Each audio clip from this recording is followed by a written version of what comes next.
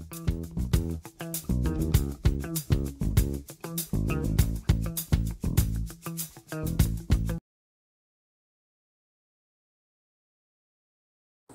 this morning's topic is silence, and it seems odd to talk about it. I'll give you a minute to get there. All week long it's like, it's, silence. Wouldn't it be just more effective to just stand there? To let you have an experience? It's an interesting concept, this thing called silence. And one of the most animated and fun conversations that I had through ministerial school probably looked like an argument um, with Reverend Kim Kaiser over whether or not it's even possible for us to experience true silence. Um, and as much as I don't want to admit that he's probably right, he probably is. that it isn't possible that in human form for us to really experience true silence is really not possible. Because that would require us to completely release all meaning to language.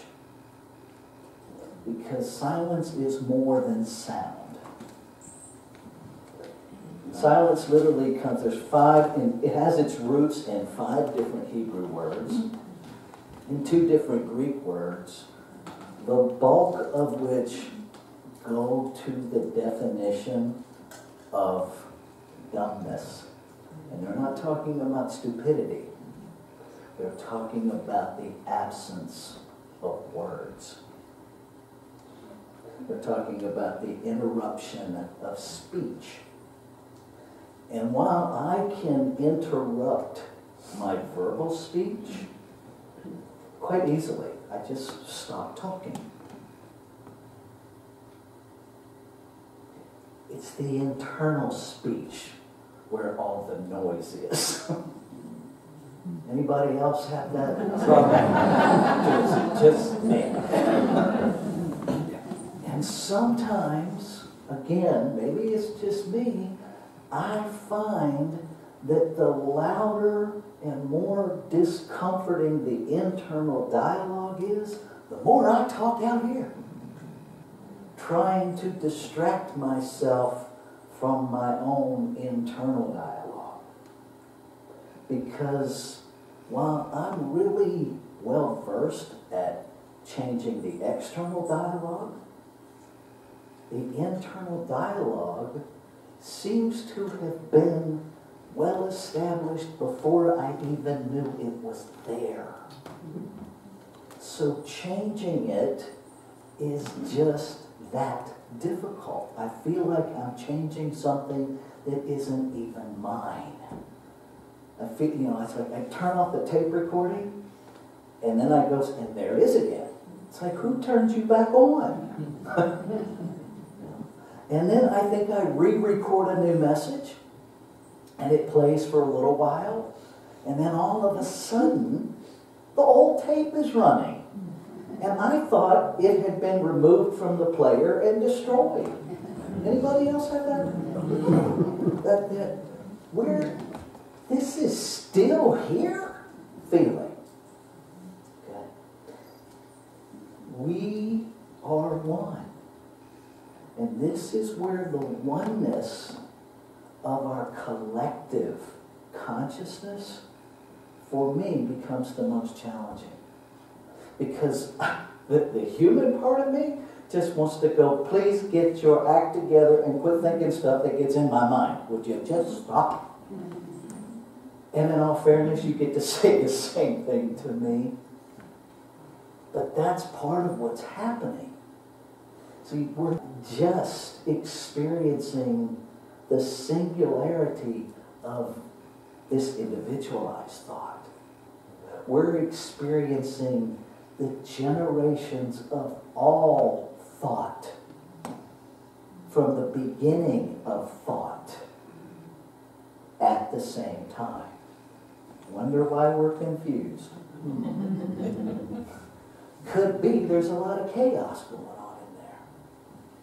So, how do we actually get to this idea of silence?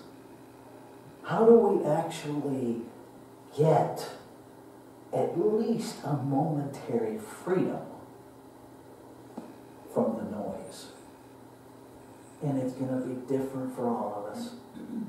I wish I could, you know, just reach behind the Christmas tree here and pull out that magical gift and go, boom, here it is, one size fits all. Doesn't exist. Just had a memory of Deb and I were up at, uh, think it was the Victorian Christmas celebration up in Nevada City, and there was a woman who sells socks. And I was so appreciative of the label on her socks that was honest enough to say one size fits most. Instead of one size fits all, one size fits most. And so meditation is helpful for most, but not all. Fishing is helpful for some, not most.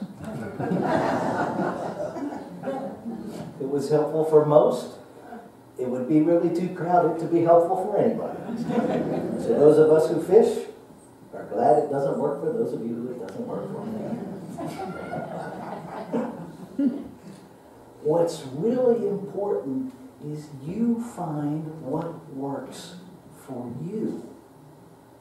And the way you do that is to try different things and to try it gently. How many have tried meditation only to, within the first 30 seconds, hate it?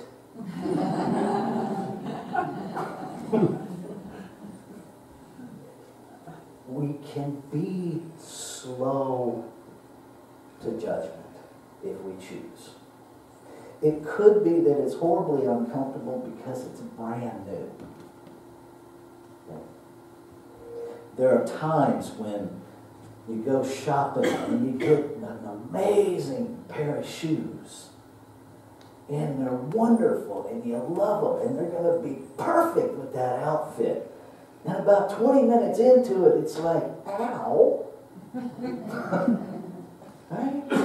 Because they weren't hurt in the store. Why are they hurting now? Well, now I'm having an experience with it that's a little longer. Meditation works the same way. The more you stick with it, my personal experience is the more uncomfortable it got for a while. Because the more it challenged all the noise in my head that I was used to. The more I stayed in the practice of meditation, the more it challenged my comfort zone, the more it challenged my accepted normal, if you will. The longer I stayed in the silence, I thought the silence was painful. It wasn't.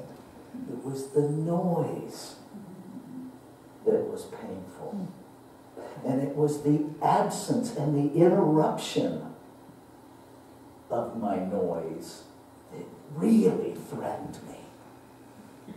Because somewhere inside of me had aligned my identity with all of the beliefs that operate quite silently in my head until I stop them. and here's what I learned from that. Absence of awareness does not equal silence. Let me say that again. Absence of awareness does not equal silence. And I thought it did because I wasn't aware of the beliefs that were operating quite loudly inside me. Quite definitively, with authority, this is who you are operating in there. But I was so used to it, I didn't hear it anymore. Just because I've stopped being aware of hearing it doesn't mean it's silent. It just means I'm not no longer need to pay attention. Just like when you drive your car, there was a time when we were younger where we actually had to pay attention to that activity, where we were conscious that I have the keys. There was excitement that we even got a hold of the keys. And then there was excitement putting them in the ignition and turning it. And now it's mindless. Unless we forget where our keys are. Maybe it's just me. Out to the truck this morning. Hmm. Can't open the door. I'll probably get further if I go back and get some keys. so now it's in my awareness. That's how the silence actually begins to work when we participate in it. It interrupts the automatic languaging that's going on in our head. And what's uncomfortable is the interruption, not the silence. The silence is where we find our spirit. The silence is where we meet the divine that lives within us. And I had this journey really over the past month of how to language this idea of silence being the absence of language and still being able to hear my soul speak to me in a still small voice. Because that requires the very same language that I'm attempting to get away from. Herein lies a big part of the challenge. What's my soul's voice and what's my voice in the human level? Turn it down a bit. Thank you. Which is which? Because understanding the difference between the two can be very challenging when they sound similar. My experience is this my soul voice tells me things that my human voice has a challenge hearing. you catch that? The soul voice is that one that says, go to ministerial school. When the human voice is going, have you looked at our bank account? Have you looked at my schedule? And the deep internal voice doesn't argue. It simply repeats, go to ministerial school. That still small voice inside that says, say yes to whatever it is. And everything on the human level is like, um, God, hello. Do you have a supervisor I can speak with? and the only response you get is an even quieter, more gentle, say yes. It's that place that scares our humanity because we can't see the possibility that our soul knows is probable. See, we, we, we like saying that we live in infinite possibility as an idea, but as a way of life, not so much. not so much. And I'm not saying that's a bad thing. I'm just saying it's a thing. Okay? I like my routine. I suspect you do too. And yet, this idea of living in the possibility of continuous creation demands that we only slow down to experience our comfort zone. That we not stop, and that we certainly do not build a condo. but many of us do, myself included. Because, and especially with this age thing that happens. You know, I have this voice in my head that says, you need to be slowing down. And I have this nudge that lives right about here that says, move. I want it to say why. I really do, because I want to argue with it. Because I have some silly notion that I can win the argument. And that's my ego. It's that part of me that is gloriously human. I couldn't be here without it. None of us could, so please love your ego. You, you can't be here without it. You need it. And we need to learn how to work with it so that it doesn't limit us. How to dance with it to music that it can't hear, but we hear. So that when we leave this planet, I don't know about you, but my goal is as I'm sliding out of here to wherever it is I'm going next, that I have no regrets, that I have nothing that I that comes to mind that is I wish I had. Fill in the blank. Now that's a tall order.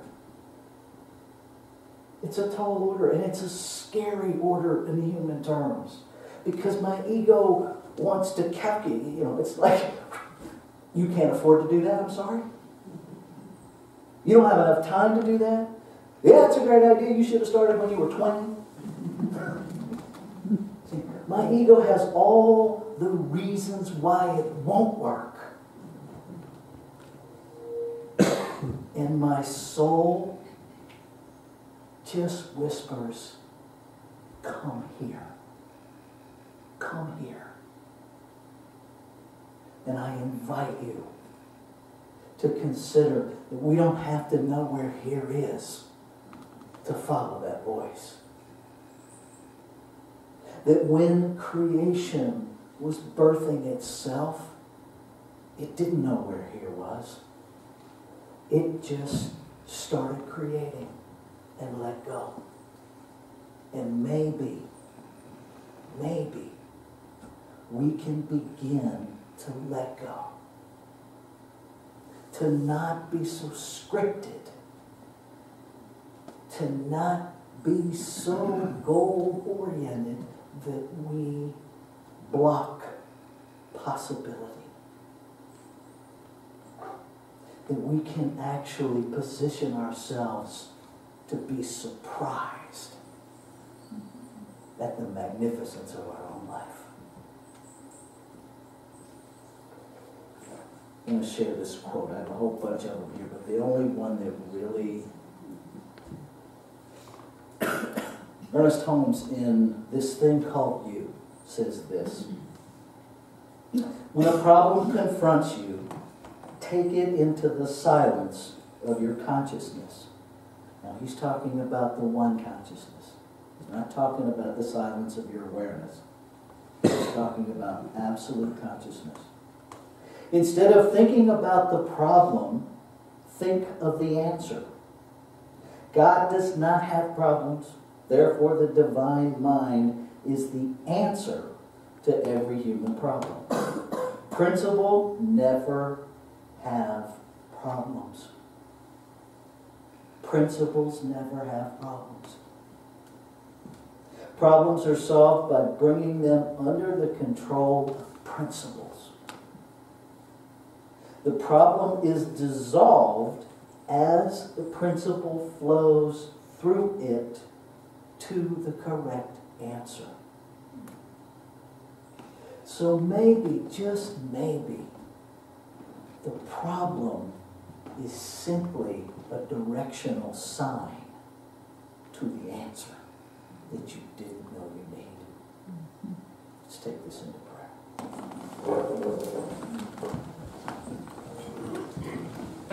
So, what I know in this one infinite beingness is that I am in its company every breath.